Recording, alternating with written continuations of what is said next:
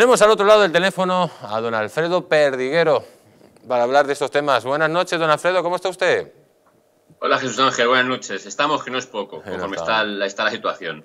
Luego, luego hablaremos, vamos a hablar de, de, lo tuyo, pero quiero que me des una primera impresión de la esta llegada de migrantes ilegales que se está batiendo todos los récords y que luego encima, pues, por ejemplo, las Islas Canarias, pues los están metiendo en hoteles de, de lujo a los inmigrantes ilegales. Eh, ¿Esto es normal?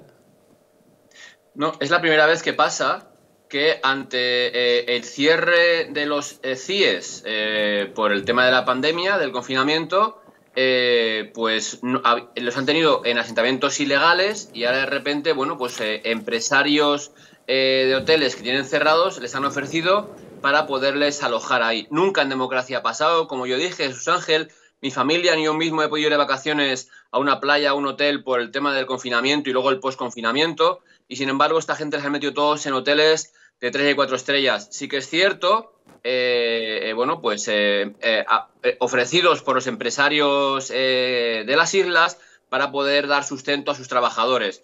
Pero fíjate lo que yo digo, yo llevo mucho tiempo diciéndolo, no hay nadie en los medios de comunicación que diga la cantidad de pateras que está llegando. No hay ningún medio de comunicación que diga que están llegando más, más eh, migrantes que nunca, como dicen ellos. Y lo que te digo encima en Canarias, ha llegado momentos en los cuales el 80% de los positivos por COVID eran casualmente eh, inmigrantes llegados en pateras hasta las islas. Ojo, Jesús Ángel, pateras que en muchos casos vienen con motor por tanto ya no, es patera como tal, y que casualmente eh, tienen un, barco nodriza en el cual les carga, les descarga para que lleguen en, breve tiempo a la, isla. Y que casualmente esa patera que les baja, baja en la playa se da la vuelta después, ya digo, patera con motor, se da la vuelta y marcha de nuevo hacia África. Por tanto, ¿qué está pasando, como tú dices? Es decir, ¿es algo que de repente no le importa a nadie? ¿Es algo que de repente no importa en qué condiciones vienen? Cuando vemos, Jesús Ángel, que ha habido eh, asentamientos ilegales en Albacete, en Alicante, en Algeciras, en las islas, y que cuando de repente aíslan algunos por eh, ser positivos, estos se salen por las calles, montan eh, la jarana que buscan, no sé qué buscan, porque no sé lo que buscan, pueden infectar a todo el resto de ciudadanos de la ciudad y no pasa nada. Es decir, ojo, que lo que estamos hablando es positivos, cuando dicen entre los españoles, que a esta gente eh, de la izquierda se le llena la boca con el positivo de los españoles que pueden contagiar al resto de españoles por salir de Madrid o ir a otras comunidades, casualmente, cuando son estos los que dan positivo, nadie dice nada, nadie nombra nada y como dijo el otro día en el Congreso, el 80% de las islas han dado positivo. Mm. Pues mira, Jesús Ángel, si miramos por el bien de los españoles para que no contagien a otros españoles, cuando vienen de fuera no nos preocupa, no somos nada, nos da igual, pues mira, a mí como policía me preocupa primero mis compañeros que son los que les protegen. Segundo, los ciudadanos que son cuando saltan el asentamiento ilegal y van por la ciudad montando el Cristo, eh, eh, lo que montan. Y desde luego al resto de ciudadanos de que pueden contagiar, pueden mirar. Y ojo, ahora vemos, hoy me han llegado un par de vídeos en los cuales están en las playas de Maspalomas eh, en grupos de 20, 30, sin ningún tipo de control. ¿Esto es lo que queremos para el resto de ciudadanos? A mí me preocupa mucho, Jesús Ángel, como tú has dicho, más de 5.000 que han llegado el último mes y que digo, y que ningún medio de comunicación diga nada. Algo está pasando, no sé qué buscan, pero desde luego cuando quieren taparlo, mala, mala, mala cosa es. Y la verdad que mala cosa es. Y mala cosa es que cuando una persona como tú, Alfredo, pues habla tan claro, venga pues un comunista resentido como Enrique Santiago y pida su cabeza. Eh, voy a enseñarle a todos los telespectadores lo que este señor pidió en el Parlamento Español eh, para que todos ustedes sepan de lo que estamos hablando. Nos preocupa eh, que eh, haya auténticos showmanen en algunos, obviamente es una excepción, en la policía, estoy hablando del señor eh, subinspector Perdiguero, que sale en todo tipo de programas de televisión, incitando al odio, al racismo, a la xenofobia, difundiendo claramente el odio y eh, nos preocupa que una persona de esas características pueda ejercer en la Policía Nacional. O sea, parece que es absolutamente incompatible con su eh, deber, según el artículo 5.1, de neutralidad política e imparcialidad. No se puede permitir que haya personas que eh, difunden así el delito de odio. ¿no? Y le rogaríamos que tomaran medidas para que esta persona fuera apartada de una vez de cualquier tipo de responsabilidad y se abrieran los expedientes disciplinarios correspondientes. Pues Alfredo, estás escuchando las declaraciones, dicen que eres un showman. Dice que, o sea, que un, comunista dice que tú incitas al odio, o sea, es, es, es curioso, ¿no? Cuando el comunismo es ese pensamiento, ese, ese, sentimiento de odio que ha provocado la muerte de más de 100 millones de, personas, ¿no? Pero, ¿cómo puede ser posible que un señor que está en el Congreso de los Diputados pues se ponga, se preocupe de lo que tú dices en un medio de comunicación o dejes de decir. O sea, eh, ¿hasta dónde hemos llegado con estas cosas? Fíjate, Jesús Ángel, ante todo agradecerte, darte las gracias por darme la oportunidad de explicarlo para que todos los espectadores, toda la gente que nos vea el programa, aunque sea algo después eh, vía, vía, vía online, vía eh, YouTube, pueda opinar. Este individuo que tú dices, no le voy a insultar, aunque te puedo asegurar que tengo los peores calificativos, descalificativos para este señor, por decirle algo, eh, es, eh, tienes aquí en tu programa hablando contigo al único español al cual, al cual han denunciado hasta en tres ocasiones a la fiscalía porque dice creo bulos y porque pertenezco a grupo criminal organizado con intención de desestabilizar el gobierno. Este señor que acabas de poner firma las tres denuncias a la fiscalía. La fiscalía, menos mal, que ha tenido un poco de sentido común y ni siquiera ha admitido a trámite ninguna de las tres. Este individuo. Ahora vemos que el otro día en la Comisión de Control, la semana pasada, eh, la Comisión de Control Interior, en la cual, fíjate tú, con todo lo que hay que arreglar en interior, acabas de decir, inmigración, medios, eh, eh medio de protección, eh, sanciones o no del estado de, durante el confinamiento, ahora post-confinamiento, es decir, con todo lo que hay que hablar y se preocupa hablar de mí.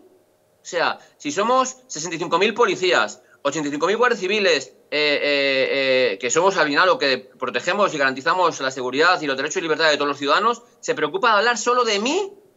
Pues mira, yo no me he preocupado. Sí que es cierto que he tenido muchísimas palabras de apoyo de, cientos de ciudadanos en los cuales evidentemente dicen que algo habré hecho bueno cuando un comunista, como tú dices, ojo que no es cualquier comunista, ¿eh? el secretario general del Partido Comunista de España, no es cualquier comunista. Este individuo como tú dices, Enrique Santiago, que miren los espectadores eh, su currículum. Eh, eh, hablar con las FARC o defender a las FARC, defender a, terroristas, narcoterroristas, es decir, nada bueno, pero ahí lo tienes en el Congreso de los Diputados. Y como tú dices, Jesús Ángel, cuando este individuo que dijo barbaridades contra el rey, que dijo barbaridades contra la corona, que, dijo, digo, encima protege o respalda o defiende a según qué tipo de individuos, habla mal de mí. Policía mucha honra, que le voy a decir, Llevo de, policía 34 años a mucha honra, que he intentado defender los derechos y libertades de todos los ciudadanos y cualquiera que me puede ver en la calle lo puede ver como porque estoy, yo estoy uniformado, eh, eh, soy sindicalista, no, no liberado y por tanto hago sindicalismo uniformado desde mi puesto de trabajo y luego posteriormente. Y que siempre he dicho, Jesús Ángel, mira, Alfredo Perdiguero podrá ser extrema derecha, extrema izquierda, eh, mientras es un ciudadano a pie como es ahora mismo. Cuando me pongo el uniforme, yo demuestro que soy apolítico. Hago que se cumpla el Código Penal las 24 horas del día, porque como ya que se lee el reglamento como le dé la gana, que se lea la ley 2 87 de 13 de marzo de fuerzas y cuerpo de seguridad, en el cual estoy de servicio permanente 24 horas al día y en el cual ejerzo mi trabajo todas las 24 horas del día, aunque me paguen por 8, pero que durante mi trabajo uniformado, que es lo que debería eh, eh, reconocerse, no tengo ni un solo expediente por ser mal policía, ni por ser racista, ni por ser xenófobo, ni por ser, eh, como dice él, el, crear odio sí que va a tener, va a tener noticias legales en, las próximas, en los próximos días este individuo, porque desde luego lo que ha dicho es una barbaridad, una aberración. Y mira, eh, me podrá decir lo que tú quieras, Jesús Ángel, pero desde luego lo que ha dicho ese fulano, y ya me estoy pasando, eh, es, es, gordo. Es gordo y no le voy a consentir. No le voy a consentir no por mí. Es que Alfredo, Alfredo, es que eso es una cacería. O sea, este señor está iniciando una cacería porque tú hoy, por ejemplo, estás diciendo tus opiniones eh, bueno, y tus opiniones no coinciden con las suyas. O sea, es el pensamiento del, diferente, del que piensa diferente. Eh, te quiere convertir, eso sí, en un perseguido político. Justo, pero bueno, ¿qué te voy a contar a ti con tus libros que has escrito y lo has definido veces, muy, bien en los libros que has escrito? Es decir, lo que hacen los comunistas es señalar a la gente, señalar a que piensa diferente para que como pasó en tiempos del 34 y del 36, en el cual cuando señalaban los comunistas a uno, digo la pasionaria, al día siguiente o a los días aparecía muerto, qué casualidades de la vida, pues es lo que quieren, lo que, lo que, lo que buscan conmigo. Pero fíjate, eh, él dice eh, que, odio. Eh, ellos sí que odian a la policía. ellos sí que oyen a la policía porque la policía no está supersida por, bajo, por ellos. Es decir, no estamos a los órdenes como ellos querrían para hacer o dejar de hacer.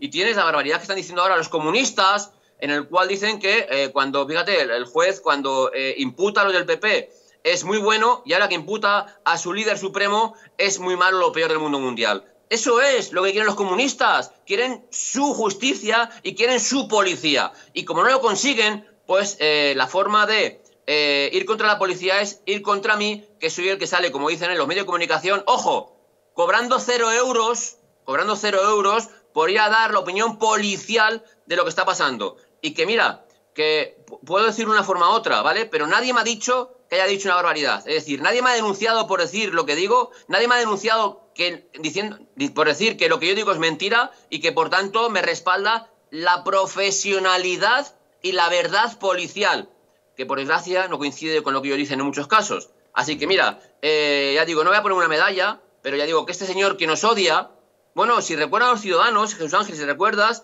saliendo de la casa del señor, de su líder supremo, el señor de la coleta, ahora del moño, eh, eh, un día salió ordenando a la Guardia Civil, salía descamisado, con malas maneras, mandando órdenes a la Guardia Civil y tal. Y bueno, al final el compañero le dijo que bueno, que se metiese en el coche y se fuese, que ellos sabían lo que tenían que hacer. Pues es este señor, Enrique Santiago, que vean todos los ciudadanos quién es, ya digo, y que a mí que me haya señalado, por mí te puedo asegurar que no doy miedo. No voy a decir cosas porque al final ya digo que es dar pistas a los malos. pero que desde luego eh, que venga, que me lo diga de, cara, o sea, como un ciudadano a otro, que me diga lo que soy, lo que piensa y veremos a ver si yo opino de él lo mismo que él opina de mí, o peor. Ya mm. digo, pero como tú dices, Jesús Ángel, al final son tan cobardes que lo dicen en medios en los cuales piensan que no se va, no se va, no se va, no se va a escuchar o ver. Y que casualmente al secretario de Estado de Seguridad, que es el que estaba presidiendo la mesa, es, eh, le dicen esto para que, como bien ha dicho al final de su alocución, me hagan expedientes y me separen de, del cuerpo. Es lo que buscan. Sí, eh, es, miserable que lo que buscan es que te echen de la policía este tipejo. Y sabes lo que te digo, que desde aquí te vamos a apoyar porque lo que no vamos a permitir es el marxismo que siga avanzando impunemente y que a gente buena y gente seria y profesionales y a patriotas pues los vayan machacando porque no opinan igual que, estos señores.